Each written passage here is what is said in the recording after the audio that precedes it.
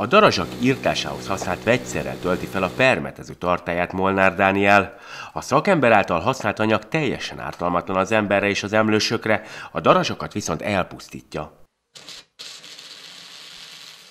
Évek óta küzdenek a darazsakkal ennek a tolnai háznak a lakói.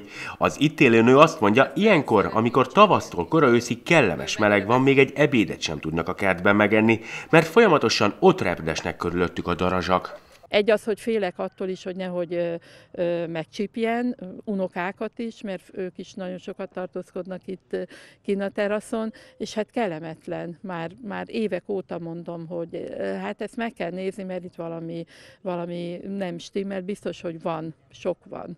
A darázsírtással foglalkozó szakember azt mondja, nyáron minden egyes nap járja az országot. Van, hogy egy napon 6-7 helyre is riasztják. Szerinte az elmúlt években azért okoznak egyre több lakóháznál gondot a darazsak, mert az emberek más módon építkeznek, mint korábban, a darazsaknak pedig egyre szűkül az életterük. Nagyon sokat változott a, a felújításoknak a stílusa, mint ahogy ennél a háznál is láthatjuk, rengeteg elburkolt hely van.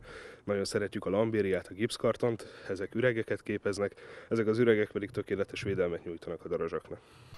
A daráscsípés egyébként az arra érzékenyeknél akár fulladásos rohamot is kiválthat, ezért a gyakran több tízezer egyednek otthont adó fészkek felszámolását mindenképpen érdemes szakemberre bízni.